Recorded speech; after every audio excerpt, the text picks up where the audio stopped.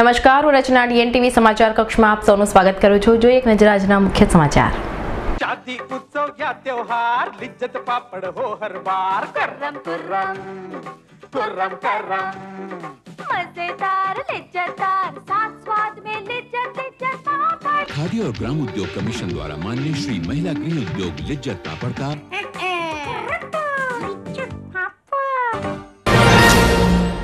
Night patrolling દરમિયાન પત્તા પાનાનો જુગાર રમતા નવ જુગારીઓને એક લાખ અડસઠ હજાર નવસો નેવના મુદ્દામાલની સાથે ઝડપી પાડતી માંજલપુર પોલીસ. નર્મદા ભવન તેમજ જિલ્લા પંચાયત ખાતે ઉમેદવારી પત્રો ભરાયા બાદ તમામ પક્ષના ઉમેદવારોની ફોર્મ ચકાસણી હાથ ધરાઈ. કોંગ્રેસ પાર્ટીના પ્રવક્તા રાજીવ શુક્લાએ પત્રકાર પરિષદ સંબોધી. ભાજપા સરકારને ઝાટકણે કાઢીને કર્યા આકરા પ્રહારો. હવે જોઈએ સમાચાર વિગતવાર.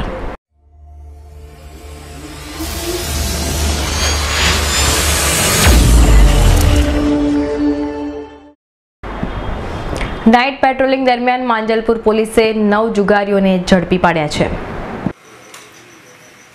આજરોજ પાર્થભૂમિ એકના ગેટ પાસે હિમસન સ્ટીલ સપ્લાયર્સની દુકાનના શટર પાસે ખુલ્લામાં લાઇટના અજવાળા નીચે જુગાર રમી રહેલ એક સંજય ઉર્ફે નન્નો, રમેશભાઈ સોલંકી, રાજપૂત. બીજો સંજય, રાજીવ પડિયાર ત્રીજો ધર્મેન્દ્રસિંહ, નટવરસિંહ સોલંકી. ચોથો અમરસિંહ, દોલતસિંહ પરમાર. પાંચ ઉમેશભાઈ, રાકેશભાઈ સોલંકી. છ રજનીકાંત ઉર્ફે પપ્પુ, રાવજીભાઈ પઢિયાર સાત રોનક, દીપકભાઈ ગાંધી. આઠ હરિવદન, બકોરભાઈ તડવી. નવ અમિત ઉર્ફે લાલુ સોમચંદ મકવાણા.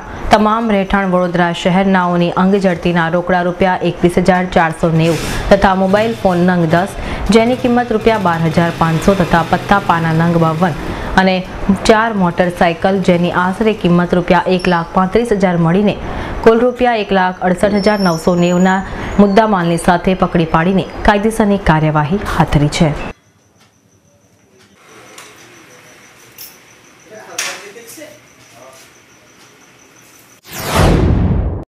નર્મદા ભવન ખાતે પણ વિધાનસભાની ચૂંટણીના ઉમેદવારોના ફોર્મની ચકાસણી હાથ ધરવામાં આવી હતી. વિધાનસભાની ચૂંટણી માટે ભાજપ, કોંગ્રેસ સહિત તમામ પક્ષના ઉમેદવારોના ઉમેદવારી પત્રો ભરાયા બાદ આજ રોજ કલેક્ટર દ્વારા ફોર્મની ચકાસણી કરવામાં આવી હતી. ત્યારે ફોર્મ ચકાસણી માટે ભાજપના ઉમેદવાર મનીષાબેન વકીલ, રાજેન્દ્ર ત્રિવેદી, યોગેશ પટેલ તથા કોંગ્રેસના ઉમેદવાર અનિલ પરમાર, ચિરાગ ઝવેરી પણ નર્મદા ભવન ખાતે પહોંચ્યા હતા. તમામના ફોર્મની ચકાસણી પ્રક્રિયા પૂર્ણ થઈ હતી.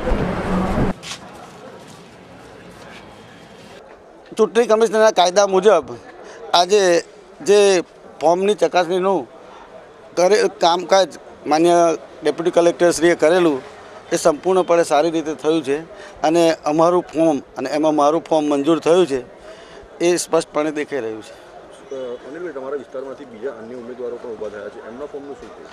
ખાલી ફક્ત ને ફક્ત એક જ ફોર્મ રદ થયું છે પ્રભુભાઈ સોલંકીનું. એ કંઈક ટેકનિકલ કારણોસર થયેલું જ હોય છે, પરંતુ એ અમને બી દુઃખ છે કે પ્રભુભાઈનું ફોર્મ રદ રદ થયું એ બદલ. અને પ્રભુભાઈ હવે શું પગલું ભરે છે એની પર ડિપેન્ડન્ટ છે. પ્રભુભાઈ, તમારા ઉપર તમારી સામે ઘણા મોટા પડકારો ઊભા છે. અપક્ષ ઉમેદવારી પણ થઈ છે, ભાજપ ખૂબ સદ્ધર છે. ત્યારે કેવી રણનીતિ રણનીતિ રહેશે, તમારી કેવી રીતે લડશો? એ તો ચૌદ તારીખે મારા શહેર વિધાનસભા એકસો એકતાલીસના મતદારો જ બતાવશે અને અઢાર તારીખે સ્પષ્ટપણે એનું ચિત્ર પણ આપી દેશે. હોય હવે કોઈક ને કોઈક પાર્ટી હોય, એ પાર્ટી લડવા પોતાનું અસ્તિત્વ ટકાવવા માટે લડતા હોય, એ એમનો પાર્ટીનો વિષય છે. બધી પાર્ટીઓ પોતપોતાનું અસ્તિત્વ ટકાવવા માટે ઉમેદવાર ઊભા રાખતા હોય અને એમાં એમનો વિષય હોય, એમાં અમારે કોઈ લેવા દે નહીં કોંગ્રેસ તરફથી જે મને ટિકિટ મળી છે અને મારું આજે ચૂંટણીનું ફોર્મ મંજૂર થઈ ગયું છે એટલે ખરેખર હું ખુશ છું. કોંગ્રેસ પાર્ટીના રાજ્યસભા સદસ્ય તેમજ પ્રવક્તા રાજીવ શુક્લાએ આજરોજ પત્રકાર પરિષદ સંબોધી હતી. કોંગ્રેસ પાર્ટીના પ્રવક્તા રાજીવ શુક્લાએ પત્રકાર પરિષદ સંબોધી ભાજપ સરકાર પર આકરા પ્રહારો કર્યા હતા. તેમણે જણાવ્યું હતું કે પ્રચાર પ્રસાર અને ભાષણથી જ આ સરકાર બનવી છે. તેમણે સરકારની ઝાટકણી કાઢતા જણાવ્યું હતું કે ઉદ્યોગ ધંધા બંધ થઈ ગયા એક રૂપિયાનું કાળું નાણું ઝડપાયું નહીં નકલી નોટ જમા થઈ ગયા અને કોઈને પકડી ન શક્યા નોટબંધી અને જીએસટી બાદ બેરોજગારી વધી ગઈ મોંઘવારી વધી ગઈ છે તેમણે જણાવ્યું હતું કે અગાઉના કોઈ પણ પ્રધાનમંત્રી ગરીબોનો મુદ્દો ઉઠાવ્યો ન હતો कितने गरीबी से निकले बहुत गरीबी गांव की हालत से अटल जी निकले लेकिन कभी अटल बिहारी वाजपेयी जैसे मुद्दा नहीं बनाया देवगौड़ा जी मैं एक नाम लूँ कितने प्रधान ऐसा लग रहा है पहली बार कोई जो है संघर्ष करके निकला। इतने प्रधानमंत्री ऑलमोस्ट चंद्रशेखर जी, गाँव से। एक से एक जितने प्रधानमंत्री हैं, सभी संघर्ष करके नीचे से ज़मीन से निकले ज़्यादातर प्रधानमंत्री हैं। लेकिन उन लोगों ने कभी इसको चुनावी मुद्दा नहीं बनाया। ये लगातार उसी को चुनावी मुद्दा बनाया। कहाँ कांग्रेस गरीब कांग्रेस तो गरीबी से लड़ी है। इंदिरा गांधी ने गरीबों के लिए सबसे बड़ी योजनाएं दी तो वो कहाँ आप कह सकते हैं कि जो है कि हम ही एक अकेले हैं जो संघर्ष करके निकले सा- आप देखिए एक लंबी सूची है प्रधानमंत्रियों की जो संघर्ष करके निकले शास्त्री जी की जो हालत थी कि आपके तो भी कांग्रेस के प्रधानमंत्री थे તેમણે વધુમાં જણાવ્યું હતું કે કોંગ્રેસ તો ગુજરાતીઓની પૂજા કરે છે और अगर आप बाकी चीज़ों का देख लीजिए। तो कि गुजराती तो कांग्रेस अपमान अरे गुजराती को की तो पूजा करती है कांग्रेस। आज भी महात्मा गांधी तो गुजराती थे, कौन पूजा कर रहा? जगह जगह, चाहे कांग्रेस के दफ्तर हो, चाहे कांग्रेस की विचारधारा हो, चाहे कांग्रेस की एक छोटी चीज़ को भी गांधी जी ऊपर होंगे किस गुजराती का और यहाँ तो हालत ये मुझे तो पता नहीं, आप ही लोग शायद बताएँ। पहली बार है इतिहास में। कि कोई गुजराती कैबिनेट मिनिस्टर नहीं है केंद्र में? एक भी असली गुजराती कैबिनेट मिनिस्टर नहीं है केंद्र में। तो गुजराती का कितना सम्मान हमेशा कांग्रेस ने किया? गुजरात से तो हमारा आज़ादी का आंदोलन शुरू, हमेशा गुजरात। तो हमने आगे रखा, सिर माथे लिया, गुजरात के विकास के लिए काम किया। तो ये पुरानी बातें उठा उठा के तुमको चुनाव में नई बात कहने का कोई इनके पास है ही नहीं। कही नहीं सकते कि हमने बेरोजगारी कम कर दी या खत्म कर दी, गरीबी कम कर दी, खत्म कर दी, या जो है हमने महँगाई खत्म कर दी। तो अब क्या कहो? कि ये कह रहे मुझे याद है चुनाव के परिणाम का कि मेरी सरकार बने, पंद्रह दिन के अंदर दाऊद इब्राहिम को ले आएँगे पंद्रह दिन का, पौने चार साल आ गए, ना दाऊद आए, ना इब्राहिम आए, ना कोई आए ये पूछिए उनसे कि आपने जो वादे किए थे, एक भी वादा पूरा किया? आधार कार्ड का मैं मंत्री था। आप उन दिनों पूरी बीजेपी अप्रोच करती थी कि आधार कार्ड जो है, वो राष्ट्र विरोधी कदम अब आधार कार्ड अच्छा हो गया। अब उसी आधार के ज़रिए जितनी कांग्रेस की योजनाएँ थी, सब अपना ली, अपनानी पड़ी। और हम कितनी सरल जीएसटी ला रहे थे। हम यही इनसे पंद्रह दिन तक पार्लियामेंट में कहते रहे कि अठारह परसेंट का तो इससे ज़्यादा मत लगाइए। नहीं माने अट्ठाईस परसेंट कर दिए। हम इनसे कह रहे थे इसका सरलीकरण करो जो रिटर्न दाखिल करने का ये है। इसमें लोग परेशान हो जाएँगे। नहीं माने आज वही रोज रोज नया सर्कुलर रोज रोज जीएसटी काउंसिल की बैठक। वही मान रहे हैं जो कांग्रेस के। तो फिर आप जो है पहले क्यों नहीं कांग्रेस की बात मान लेते? क्योंकि और हाफिज सईद का मुद्दा कि हाफिज ताली वाले हम ताली क्या बजाएँगे? हाफिज सईद पे जो बैन लगा था वो जब मनमोहन सिंह सरकार में चिदम्बरम जी गृह मंत्री थे, उन्होंने जो एक ट्रक दस्तावेज़ इसके खिलाफ दिए थे 26 ग्यारह के बाद, उसके आधार पर बैन लगा। हमने तो बैन लगवाया उस पर आपने तो एक कागज़ भी नहीं दिया। हाफिज सईद के खिलाफ।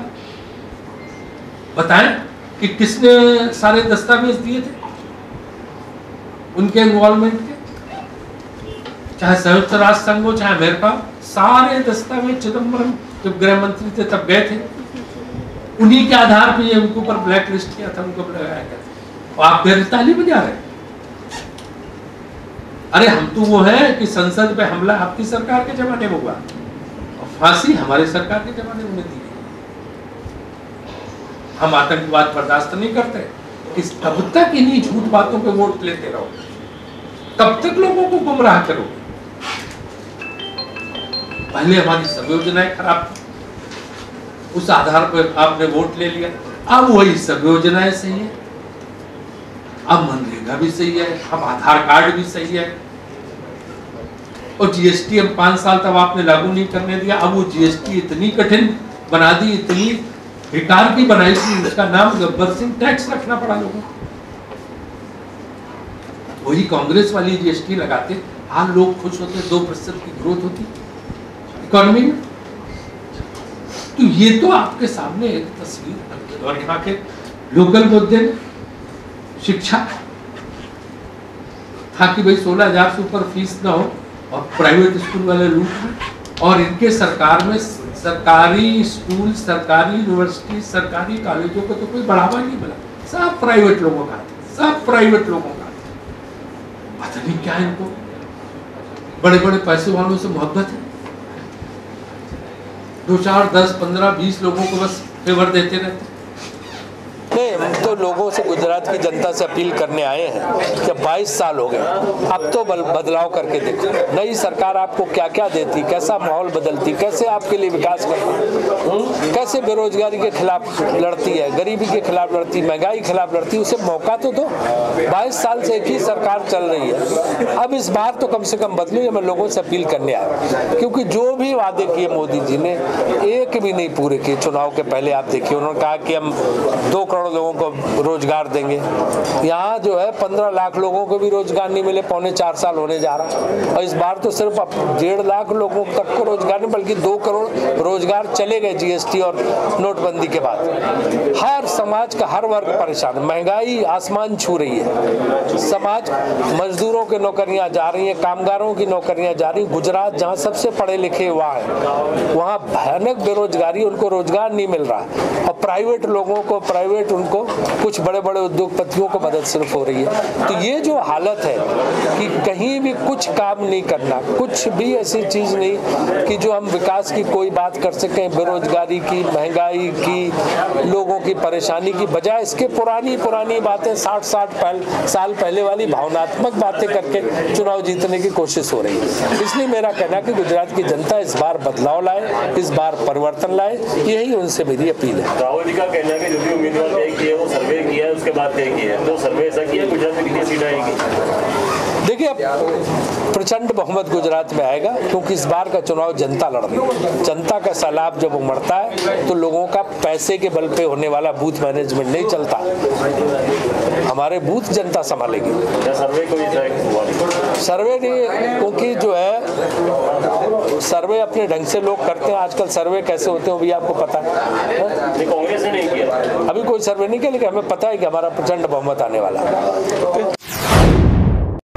પશુધનની ચોરી અટકાવવા માટે માલધારી સમાજ દ્વારા પોલીસ કમિશનરને રજૂઆત કરવામાં આવી હતી. હાલમાં જ માલધારી સમાજના યુવાનો દ્વારા પશુધન ભરીને કતલખાને લઈ જવાતી ટ્રકો ઝડપી પાડવામાં આવતી હતી. ત્યારે કતલખાને લઈ જવાતું પશુધન ઝડપાઈ જવાના કિસ્સાઓ વધી રહ્યા છે. ત્યારે પશુધનને કતલખાને જવાતું બચાવવા માલધારી સમાજ દ્વારા પોલીસ કમિશનરને આવેદનપત્ર પાઠવીને રજૂઆત કરવામાં આવી છે.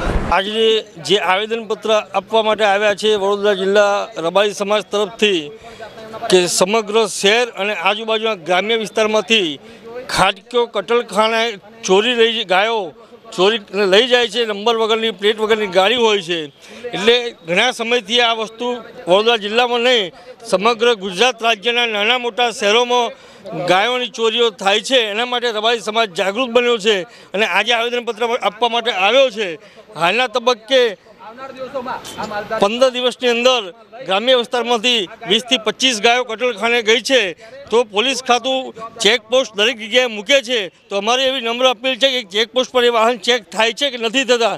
કે હાલની સરકાર પોલીસ ખાતું, ખાટકી અને કટલખાના માલિકો મિલીજુલી સરકાર છે.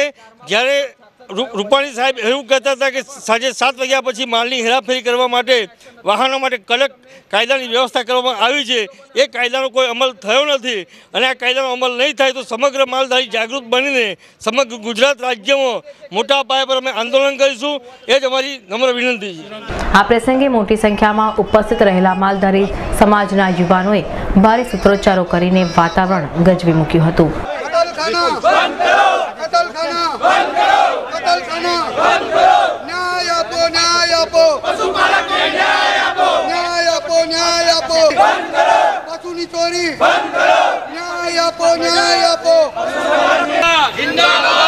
માલધારી એકતા જિંદાબાદ માલધારી એકતા જિંદાબાદ ન્યાય અપાવો ન્યાય અપાવો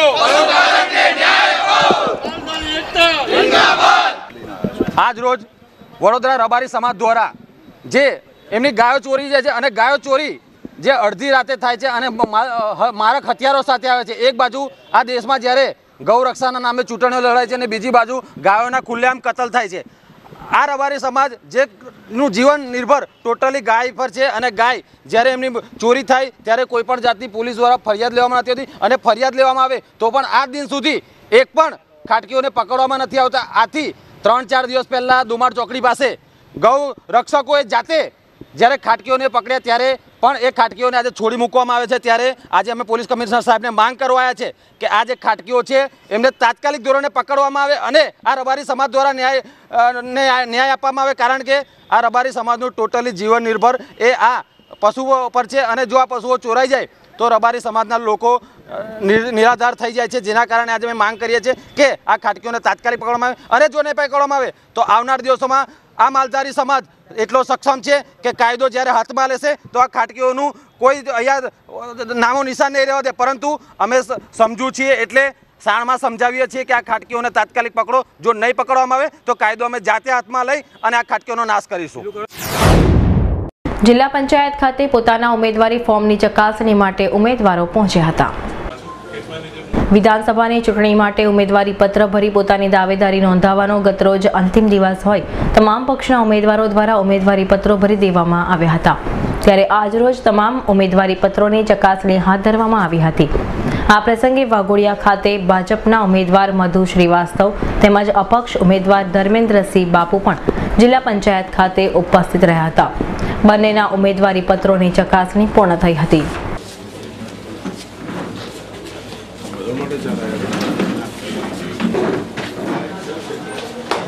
આજે ચકાસણી હતી અને ચકાસણીમાં વ્યવહારિક છે કે એની રજૂઆતો કરી શકે છે અને રજૂઆતના દરમિયાનમાં જમીન વિષયની રજૂઆત કરી હતી કે જમીન ક્યાંથી આવી અને કેવી રીતે આવી. એટલે જમીન મારી લગભગ પંચોતેર એંસીની સાલમાં વિલના આધારે મને મળેલી. એનો ઓબ્જેક્શન કર્યો હશે. એનું આ વિલનો આધારના મને આખો પરિચય હું આપી આવ્યો છું. અને મેં એવું કીધું કે ચૂંટણી લડવી જોઈએ અને બધાના જ ફાર્મ પાસ થવા જોઈએ. હું તો કોઈનો વિરોધ કરવા આવ્યો જ નથી. કાયમ દર પાંચ વર્ષે મારો જ વિરોધ કરતા આવ્યા છે, પણ મેં કોઈ દાડે એમને વળતો જવાબ નથી આપ્યો. અને આ ચૂંટણી છે હવે ચૂંટણી તો પંદર દિવસ મહિનામાં પતી જવાની છે. પ્રજાનું કામ કરવાનું છે. પ્રજાના હિતમાં રહીને રક્ષણ કરવાનો પ્રયત્ન કરવાના છે. વિકાસના જે કામો છે, અધૂરા એ કામો કરવાના છે. લગભગ મારા મત વિસ્તારના અંદર તો મેં વાઘોડિયા તાલુકાની નર્મદાની યોજના મંજૂર થઈ ગઈ છે કે જે એકસો ને બ્યાસી ગામને પાણી પીવાનું નર્મદાનું પ્રોજેક્ટ એંસી ટકા પૂરું થઈ ગયું છે. એ એ કર્યું છે. સાથે સાથે મેં વડોદરા તાલુકો મારામાં આવે છે. તો વડોદરા તાલુકાના અંદર બી મહીસાગરની યોજના જે છ્યાસી કરોડની એ મંજૂર કરાવી દીધી છે ટેન્ડર બહાર નીકળી ગયો છે. અને ટૂંક સમયમાં એ કામ બી ચાલુ અને ચૂંટણી લડવું અને ખરેખર પ્રજાની સાથે રહીને અને પ્રજાના હિતના કામો કરવા એ સાચી વાત છે. અને હિન્દુસ્તાન આઝાદ છે. મેં એ જ ચૂંટણી અધિકારીને કીધું કે ચૂંટણી બધા જ લડી શકે છે અને બધાના જ ફોર્મ પાસ કરો અને જે જે, જે- લોકો પ્રજાની સાથે રહ્યા હશે અને પ્રજા એને અવકાર કરશે કે કોણ પ્રતિનિધિ આપનો સેવક બની શકે છે? કોણ પ્રતિનિધિ તમારી અડધી રાતે તમારો અવાજ સાંભળી શકે છે? કોણ પ્રતિનિધિ તમારા દુઃખ સુખનો ભાગીદાર બની શકે છે? એ પ્રજાએ નિર્ણય કરવાનો છે. આજે ચકાસણી કરવામાં આવી ફોર્મની દરેકના ફોર્મો ચેક કર્યા. બધાના ફોર્મો જે અમુક લોકોના એફિડેવિટ અધૂરા હતા, એ લોકોના કેન્સલ કર્યા. બાકી અમારા બધાના ફોર્મ મંજૂર કર્યા છે. અને આજથી અમારી રણનીતિ, ચૂંટણી જીતવાની ચાલુ થશે. અકોટા વિધાનસભા બેઠક પરથી ભાજપના ઉમેદવાર સીમાબેન મોહિલે ગોત્રી વિસ્તારમાં જનસંપર્ક કર્યો હતો. અકોટા વિધાનસભા મતવિસ્તારના ભાજપના ઉમેદવાર સીમાબેન મોહિલે ગોત્રી મધર સ્કૂલની પાછળ આવેલ વિસ્તારની સોસાયટીઓમાં ફેરણી સ્વરૂપે ફરીને જનસંપર્ક કર્યો હતો. તેમજ તમામ કામો પૂર્ણ કરવાની બાંહેધરી સાથે વિસ્તારના રહીશોને મળ્યા હતા. રહીશો દ્વારા પણ તેમનું સ્વાગત કરીને આવકાર આપવામાં આવ્યો હતો. ત્યારે ફેરણીમાં મોટી સંખ્યામાં કાર્યકર્તાઓ તેમજ વિસ્તારના કાઉન્સિલરો જોડાયા હતા. બેન આપણા ઉમેદવાર છે સીમાબેન મોહિલે. મોહિલે. ને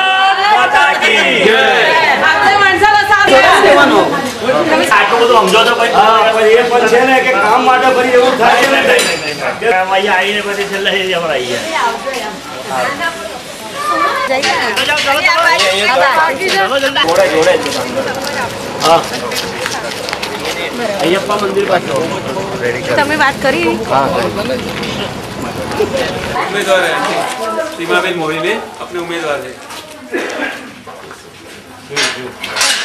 ડ- વોર્ડ દસના આપણે મધર સ્કૂલની પાછળનો જે વિસ્તાર છે આટલી જે સોસાયટીઓ છે, એનામાં અમે ફેરણી કરી. બધી કોર્પોરેટર અને વોર્ડ નંબર દસના, અમારા સુનીતાબેન શુક્લા એક્સ ડેપ્યુટી મેયર છે, મારી જોડે મારા પ્રમુખ છે, કંચનબેન રાય, એ પણ આ જ વોર્ડમાંથી કોર્પોરેટર છે, મિત્તલભાઈ છે અને નીતિનભાઈ ડોંગા અને વોર્ડના પ્રમુખ મનોજભાઈ અને મહામંત્રી શ્રી રાજુભાઈ અને બધા જ કારોબારી સભ્ય અને કાર્યકર્તાઓ ભાઈઓ જોડે આજે શ્રી ગણેશા છું અકોટા વિધાનસભાની વોર્ડ નંબર દસમાંથી ફેરણીની શરૂઆત કરીને. એટલે બધા કાર્યકર્તાઓ બે ભાઈ બહેનો અને બીજી કંઈ અહીંયાની જે સમસ્યાઓ છે એમની જોડે ફરતા ફરતા જાણીએ અને ઉકેલ લાવવાનો પ્રયત્ન કરીએ. હવે લેશું એક નાનકડો વિરામ. શાદી ઉત્સવ યા ત્યોહાર લિજ્જત પાપડ હો હર બાર. કરમ કરમ. कुर्रम करम। मज़ेदार लिज्जतदार साथ स्वाद में लिज्जत लिज्जत पापड़ खादी और ग्राम उद्योग कमीशन द्वारा मान्य श्री महिला गृह उद्योग लिज्जत पापड़ का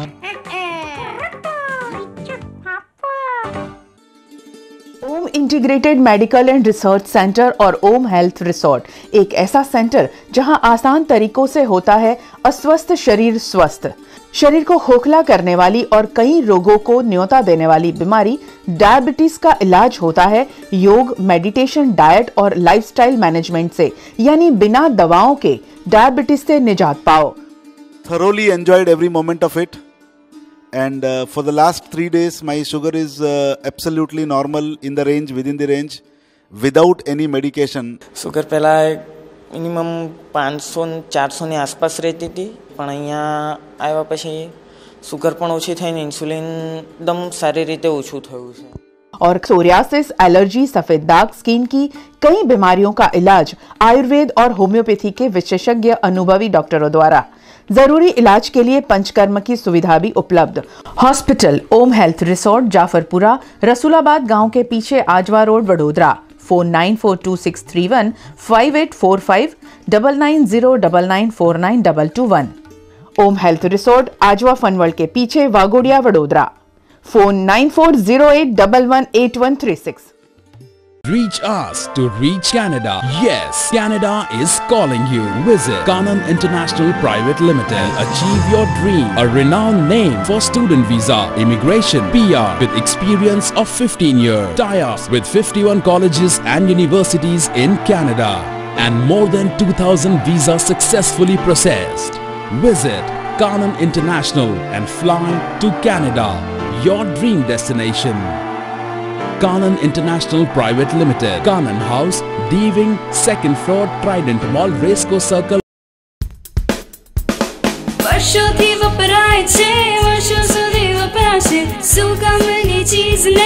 Lassi સુગમની મઠો સુગમનો સુગમનો ચોકોબાર ગુલાબજાંબુ મલાઈ પેંડા બરફી પહોંચે દ્વારે દ્વાર. આઈસ્ક્રીમ સુગમનો શ્રીખંડ સુગમનો સુગમની કાજુ કતરી કાજુ અંજીર સુગમનો. દિવાળી હોય કે હોળી હોય ઈદ કે હો ક્રિસમસ સુગમની મીઠાઈ ખાઓ મસ્તીમાં આવી જાઓ. Baroda dairy સુગમનો taste best integrated medical and research centre और ओम हेल्थ रिसोर्ट जहाँ होता है मानसिक बीमारियों का इलाज बिना दुष्प्रभाव के। बेचैनी, अनिंद्रा, मानसिक तनाव, पढ़ाई का स्ट्रेस कमज़ोर याद शक्ति चिड़चिड़ापन, निराशा, शराब एवं ड्रग्स की बुरी आदत, आपराधिक और आत्महत्या की मानसिकता जैसी कई मानसिक बीमारियों का वैज्ञानिक और भारतीय परंपरा द्वारा प्रस्थापित आयुर्वेद पंचकर्म होम्योपैथी द्वारा इलाज। मेरा काफ़ी सारे वेडाविट्स था जो कि बहुत सारे सालों से डेवलप हो गया था। तो मैं वहाँ पे जब वेबसाइट में रिसर्च किया तो मुझे ओम रिसर्च के बारे में मालूम पड़ा। धीरे धीरे ये सब चीज़ें छोड़ भी दिया फिर मैंने 15 टू 20 डेज़ ट्रीटमेंट भी लिया। तो अभी मेरे को बहुत ही अच्छा फील हो रहा है। Om integrated medical and research centre city clinic है 14 सुधानगर लाल पैथ लेप के पीछे chocolate room land Chetalpur road Vadodara. ओम हेल्थ रिसोर्ट जाफरपुरा रसूलाबाग गांव के पीछे आजवा रोड वडोदरा संपर्क करें nine four two six three one five eight four five या फिर double nine zero double nine four nine double two one Vaishali travels આપની બહેતરીન સેવામાં આરામદાયક પ્રવાસ અને સંતોષકારક પ્રવાસ માટેનું લોકપ્રિય નામ એટલે વૈશાલી ટ્રાવેલ્સ પ્રવાસ તો વૈશાલી ટ્રાવેલ્સનો જ ફક્ત બસ ભાડામાં સારંગપુર, વીરપુર, ચોટીલા, ગોંડલ, શનિદેવ, શિંગણાપુર સાથે શેરડી, નાસિક ત્રંબકેશ્વર દ્વારકા, બેટ દ્વારકા અને સોમનાથ, મહુડી, અંબાજી અને ખેડબ્રહ્મા દર પૂનમે અંબાજી ડાકોરની યાત્રા આરામદાયક સફર દિવાળીનું ખાસ નજરાણું, રોયલ રાજસ્થાન, રાજસ્થાનના રમણીય સ્થળોની સફર.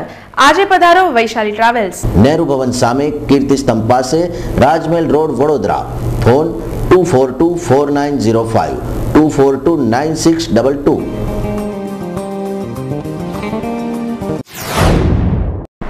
વિરામ બાદ પુનઃ આપનું સ્વાગત છે.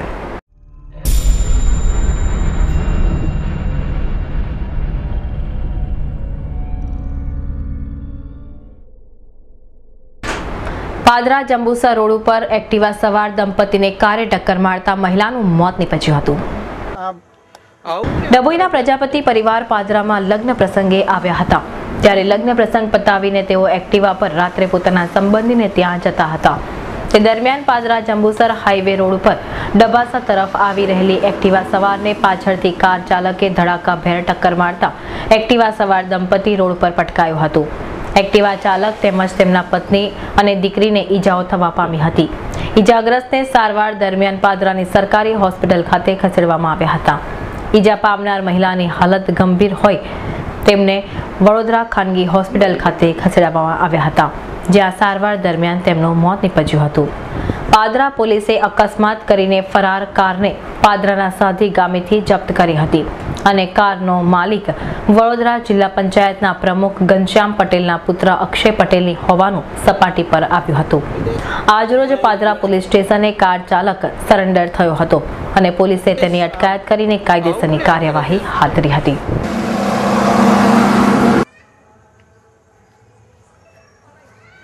બે દિવસ અગાઉ પાદરા અ, ડબાસા રોડ ઉપર એક અકસ્માત થયો હતો. અને આ કામે પ્રકાશભાઈ પ્રજાપતિ ફરિયાદી છે. અને પ્રકાશભાઈએ ફરિયાદ આપી હતી તેની અંદર ઈજા પામનાર ઈશ્વરભાઈ પ્રજાપતિ કોમલબેન પ્રજાપતિ અને જ્યોત્સનાબેન પ્રજાપતિ હતા. જેમાં જ્યોત્સનાબેન પ્રજાપતિનું સારવાર દરમિયાન મૃત્યુ થયું હતું. આ કામનો આરોપી એટલે કે જે ફોર વ્હીલરનો ચાલક છે જેનો ગાડી નંબર જીજે સિક્સ જે એમ પિસ્તાલીસ તેર. અને એની તપાસ કરતાં આ કામનો આરોપી અક્ષય પટેલ નામનો વ્યક્તિ હતો કે જે આજે પોલીસ સ્ટેશનમાં સરેન્ડર થયો છે અને તેની અટક કરવામાં આવી છે. કઈ કલમો લગાવવામાં આવી છે અને શું કેસ દાખલ કરવામાં કલમ જે છે એ બે બેફિકરેથી જે વ્હીકલ ચલાવવું બસો ઓગણએંસી અને ટક્કર મારીને જે નાની મોટી ઈજાઓ કરી છે એ ત્રણસો સાડત્રીસ ત્રણસો આડત્રીસ અને જે મરણ ગયા છે બેન એના કારણે બેફિકરાઈથી વાહન ચલાવીને મૃત્યુ નિપજાવો. એ ત્રણસો ચાર મુજબ ગુનો દાખલ કરવામાં આવ્યો છે. સાહેબ એવું કહેવાય કે આ ત્રણસો ચાર મુજબ જે ગુનો લગાવવામાં આવ્યો છે હિટ એન્ડ રનનો કેસ. હા કહી શકાય. સયાજીગંજ વિધાનસભા બેઠકના આરએસપી ઉમેદવાર રાજેશ આયરે આજે પોતાના મત વિસ્તારમાં સમર્થકોની સાથે ફેરણી કરી હતી. શહેરની સયાજીગંજ વિધાનસભા મત વિસ્તારમાં ભાજપ, કોંગ્રેસ અને રાષ્ટ્રીય સમાજ પક્ષના ઉમેદવાર વચ્ચે ત્રિપાંખીઓ ચૂંટણી જંગ ખેલાનાર છે. ત્યારે આરએસપીના ઉમેદવાર રાજેશ આયરે ચૂંટણી પ્રચારના ભાગરૂપે પોતાના મત વિસ્તારમાં ફેરણી શરૂ કરી હતી.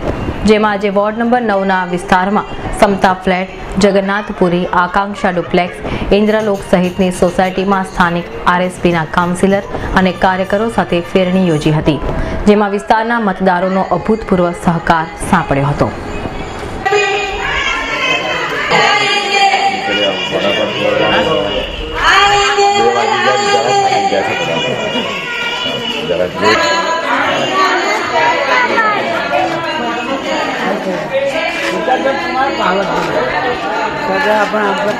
હમણાં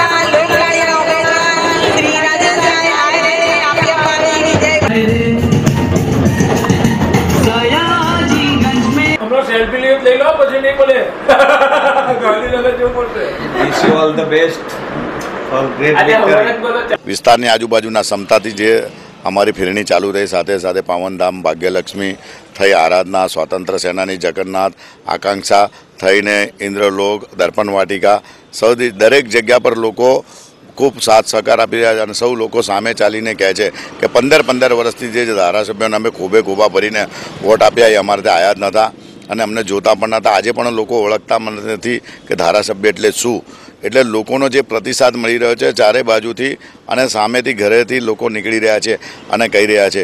એટલે અમે સૌ લોકોનો આભાર માનીએ છીએ અને સાથે જણાવીએ છીએ કે આ એક વિધાનસભાની એક ચૂંટણી, એક જે ત્રિપાખ્યો જંગ, સયાજીગંજ વિધાનસભાની અંદર જે ત્રિપાખ્યો જંગ, નહીં પણ એ એક સાઈડ એક સાઈડ પર જ જાણે લોકો સામે ચાલીને કહે છે કે રાજેશભાઈ રોજ અમારી સાથે વીસ વીસ કલાક સુધી અમારી સાથે રહે છે. એટલે લોકોને આજે એવું લાગે છે કે જે અમે લોકોની સાથે પરિમ સાથે લોકોના કોઈપણ નાત, જાત, ભેદ વગર અને લોકોને માટે હંમેશા અમે લોકો રહ્યા હતા. એટલા માટે આજે સૌ કોઈ બોલે કે ભાઈ રાજેશભાઈનું કામ બોલે છે. અને એને અનુલક્ષીને લોકો સામે ચાલીને અમને જે પ્રતિસાદ આપી રહ્યા છે, સૌ લોકોનો આભાર માનીએ છીએ. કારણ કે લોકો ખૂબ ભરોસાના વિશ્વાસ સાથે અમને વોટ આપતા હોય છે.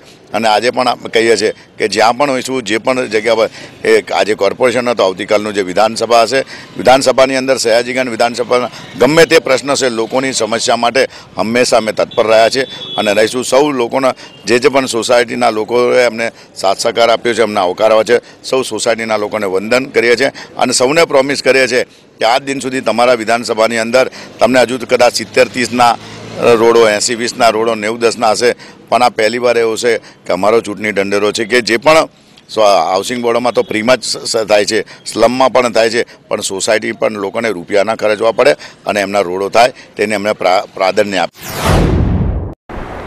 ડભોઈ તાલુકાના કરનાળી ગામે આઠ ફૂટ લાંબો અજગર ઝડપી પાડવામાં આવ્યો છે. ડભોઈ તાલુકાના કરનાળી ગામે એક અજગર ફરી રહ્યો છે તેવી જાણ ગામમાં થતા ગ્રામજનોમાં ભય જોવા મળતા સુરત અને જાણ ડભોઈ એનિમલ સેવિંગ ગ્રુપ અને વન વિભાગને કરતા તુરંત ઘટના સ્થળે જઈને આ અજગરને ઝડપી પાડ્યો છે. આ અજગરની લંબાઈ આઠ ફૂટ લાંબો અને અગિયાર કિલો વજન ધરાવતો અજગર એનિમલ સેવિંગ ગ્રુપના કાર્યકરો વિજયભાઈ પટેલ, વૈભવ પટેલ, ઋત્વિક પટેલ, અજય વસાવા, અંકિત પંચાલ અને વન વિભાગના અધિકારી પરમાર સાહેબે ભારે જહેમત બાદ ઝડપી પાડવામાં સફળતા મેળવી હતી.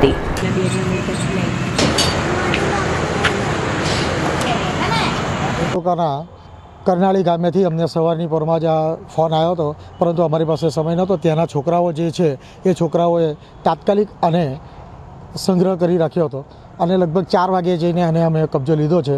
અને આજુબાજુની વિસ્તારમાંથી જ્યારે પણ અમને આવા વન્ય પ્રાણીઓ વિશેની જાણકારી મળે, અમે તાત્કાલિક તાબડતોબ પહોંચી જઈએ છીએ અને બચાવવાનો પ્રયત્ન કરીએ છીએ. આજુબાજુની પ્રજા પણ હવે એટલી જાગૃત થઈ ગઈ છે ધીમે ધીમે કે આવા વન્ય પ્રાણીઓને બચાવવા માટે એઓ પણ સામેથી અમને કોલ કરે છે. ફોરેસ્ટ વિભાગને જાણ કરે છે. ફોરેસ્ટ વિભાગ પણ ધીરે ધીરે ડભોઈનો હવે જાગૃત થઈ ગયું છે અને આવા વન્ય પ્રાણીઓને બચાવવા માટેના ખૂબ પ્રયત્નો કર્યા છે, અમને ખૂબ સહકાર આપે છે. ગામના પત્રકારો પણ અત્યારે જે આ બચાવવા માટે અમને એ લોકો પણ કેટલી વખત સામેથી ફોન કરે છે. અમે પણ જઈએ છીએ અને એ લોકો પણ અમારી સાથે આવે છે. અને બને ત્યાં સુધી આ કરનાળી ગામેથી પકડાયો છે અને એનું વજન છે લગભગ અગિયાર કિલોની આજુબાજુ લંબાઈ છે આઠ ફૂટ ત્રણ ઇંચ. કેટલા ટાઈમથી આ તમે કામગીરી કરો હું કામગીરી લગભગ અહીંયા બે હજાર નવથી આવ્યો ત્યારથી કામગીરી કરું છું. શું શું પકડો છો બધું જ. અજગર સાપ કોબરા ચિત્તળ બીજા વન્ય પ્રાણીઓ હિંસક પ્રાણીઓ. હા આ અજગર નુકસાન કરે છે. જો તમને આજુબાજુમાં કોઈક પહોંચી જાય તો એ શિકાર સમજીને આપણા પર હુમલો કરી દે છે. હવે નાનું છોકરું હોય તો તાત્કાલિક એમને ભીસમાં પણ લઈ લે છે. કોઈક નાના ઢોર, ઢાકર એવું હોય તો તેને પણ આ પકડી લે છે. છોટાઉદેપુર જિલ્લામાં પ્રાથમિક સુવિધાઓથી વંચિત એવા ટુંડાવ ગામના ગ્રામજનો દ્વારા આગામી આવનારી વિધાનસભાની ચૂંટણીમાં મતદાનના બહિષ્કાર કરવાની ચીમકી ઉચ્ચારી હતી. છોટાઉદેપુર જિલ્લાના અંતરિયાળ વિસ્તારમાં આવેલા સત્યાવીસો જેટલી વસ્તી ધરાવતા ટુંડવા ગામમાં પ્રાથમિક સુવિધાઓ જેવી કે આરોગ્ય, શિક્ષણ, પાણીની સુવિધા, રોડ રસ્તા જેવી સુવિધાઓથી વંચિત હોય ગ્રામજનો દ્વારા સંબંધિત વિભાગમાં વારંવાર રજૂઆતો કરી હોવા છતાં કોઈ જ સુવિધા ઉપલબ્ધ ના થતા આગામી વિધાનસભાની ચૂંટણીમાં ગ્રામજનો દ્વારા મતદાનનો બહિષ્કાર કરાશે. આ ગામ સત્યાવીસોની વસ્તી ધરાવતું અત્યંત પછાત ગામ જ્યાં દસ વર્ષ અગાઉ બનાવવામાં આવેલી પાણીની ટાંકી આજ દિન સુધી ચાલુ નહીં કરતા. ગામની મહિલાઓ વર્ષો પુરાના કૂવામાંથી પાણી ખેંચીને બહાર કાઢીને એક એક બેડા પાણી મેળવે છે. જેમાં ગામની મહિલાઓને દૂર દૂર સુધીને ચાલીને પાણી ભરવા માટે જવું પડે છે. જેની કોઈ જ સુવિધા કરાઈ નથી. ગામમાં ધોરણ એકથી છ સુધીની શાળા આવેલી છે, જેમાં ચાર શિક્ષકો ફરજ બજાવે છે. જે ચાર શિક્ષકો પણ શાળામાં નિયમિત આવતા નથી. જેના કારણે ગામના બાળકોને શિક્ષણ મળતું નથી. જેના લીધે સાક્ષરતાનો દર ખૂબ જ નીચો છે. વધુમાં સરકાર દ્વારા નવીન શાળા પણ બે વર્ષ અગાઉ બનાવેલી છે. પરંતુ નવીન શાળા હજુ પણ નિયમિત ચાલુ કરાઈ નથી. શાળામાં બાળકોની સંખ્યા પણ નહીવત છે. ગામ લોકોના જણાવ્યા પ્રમાણે શાળાના શિક્ષકો નિયમિત શાળામાં આવતા નથી કે શિક્ષણ વિભાગ દ્વારા પણ ગામના બાળકોના શિક્ષણ પ્રત્યેની કે નવીન શાળાની મુલાકાત એક પણ વાર આટલા વર્ષોમાં લેવાઈ નથી. અમારા ટુંડવા ગામની અંદર સ્કૂલ છે, પણ શિક્ષકો નિયમિત આવતા નથી. અને અમારા ટુંડવા ગામની અંદર છોકરાઓનું અભ્યાસ પાછળ રહે છે, જેના કારણે છોકરા અભણ અભણ રહી જાય છે. અને અમારા ગામની અંદર પાણીના ટાંકા પણ છે, પણ પાણી આવતું નથી અને પાણીના ટાંકાની અંદર સારી સુવિધા નથી. ફક્ત ટાંકો એટલો જ બનાવેલો છે, બસ. અમારા ગામની અંદર રસ્તા ખરાબ છે અને જેથી કરીને અમારા ગામમાં કોઈ બસની કોઈ સુવિધા નથી. અને અમારા ગામની અંદરથી છોટાઉદેપુર તાલુકાની અંદર ભણવા જવું હોય તો અમારે ટુંડવા ગામથી અપડાઉન કરવા બસ આવતી નથી. અને અહીંથી ટુંડવાથી રંગપુર સુધી અમારે ચાલીને જવું પડે છે. અને ત્યાંથી બસ પકડીને અમારે છોટાઉદેપુર ડિસ્ટ્રિક્ટમાં ભણવા જવું પડે છે. અને અમારા ટુંડવા ગામના છોકરા અભ્યાસ કરે છે તે બધા છોટાઉદેપુરની અંદર રૂમ ભાડે રહીને અભ્યાસ કરે છે અને ગામની અંદર બસ આવતી નથી, રસ્તા ખરાબ છે અને આ આ વખતે આ ચૂંટણીનો અમે બહિષ્કાર કરીએ છીએ કે અમે આ ચૂંટણી વખતે અમે ટુંડવા ગામના બધા જ પંચ લોકોએ કોઈ વટ આપવાનો નહીં વટ આપીએ નહીં એ રીતે અમે આ ચૂંટણીનો બહિષ્કાર કરીએ છીએ અને જેથી અમારા ગામમાં રસ્તા કે પછી રસ્તા કે બધા સારી સુવિધા થઈ જાય, જેથી તમે વોટ કરીશું. આ ચૂંટણીનો અમે બહિષ્કાર કરીએ છીએ. રાઠવા ડુંગરિયાભાઈ થાવરિયા. અહીંયા થોડા મહિના અગાઉ ગામની કુપચા ફળિયાની અને પૂજારી ફળિયાની બે મહિલાઓને પ્રસૂતિનો સમય હોય. એકસો આઠને જાણ કરવામાં આવતા એકસો આઠ એમ્બ્યુલન્સ નહીં આવતા. જેના કારણે ગામમાંથી ખાટલામાં ઉચકીને મહિલાઓને આરોગ્ય સુવિધા અપાવવા બીજા ગામમાં લઈ જતા રસ્તામાં બંને મહિલાઓનું મોત નીપજ્યું હતું. અહીંયા ગામમાં આરોગ્ય સુવિધાઓ મળતી નથી. બીમાર દર્દીઓને આજે પણ ખાટલામાં ઉચકીને બીજા ગામમાં દવાખાનામાં લઈ જવામાં આવે છે. વધુમાં ટુંડવા ગામને મુખ્ય માર્ગને જોડતા રોડ રસ્તા નથી. તેમજ પાંચ કિલોમીટરમાં પથરાયેલ વસ્તી ધરાવતા ગામમાં રોડ રસ્તા જેવી કોઈ જ સુવિધાઓ નથી. ગામમાં હાલના સમયમાં પણ રસ્તા બનેલા નથી અને ચોમાસામાં વધુ વરસાદ હોય ત્યારે ગામ લોકોને કોઈ પણ કામકાજ અર્થે બહાર જવું હોય તો શક્ય નથી. કારણ કે કોતરોમાં પાણી આવી જતા કાચા પગદંડી રસ્તા પણ બંધ થઈ જતા હોય છે. ગામમાં આજ દિન સુધી ગ્રામજનોએ એસટી બસ ગામમાં આવેલી જોઈ નથી. ગામ લોકોને પાંચથી છ કિલોમીટર ચાલીને મુખ્ય માર્ગ પર આવવું પડે છે, ત્યારે જ વાહન મળી શકે તેમ છે. ઉક્ત મુશ્કેલીઓના સામનો ટુંડવા ગામની પ્રજા છેલ્લા છવ્વીસ વર્ષોથી કરી રહી છે. અમારા ગામની અંદર રોડની સુવિધા નથી, પાણીની સુવિધા નથી ને બસ ચાલતી નથી દવાખાનાની સુવિધા નથી. એટલા માટે અમે ચૂંટણીનો બહિષ્કાર કરીએ છીએ કે અમારા ટુંડવા ગામની ચૂંટણીની અંદર કોઈને વોટ આપીએ નહીં. ને ચૂંટણીનો બહિષ્કાર કરીએ છીએ. ને જે કામ સગવડ શરૂ કરે ત્યારે અમારે નિર્ણય અમે આપીએ કે અમારા ગામની અંદર સુવિધા પૂરી થાય તો એ માણસ આવી શકે અને અમારા ગામની અંદર પગલું ભરી શકે.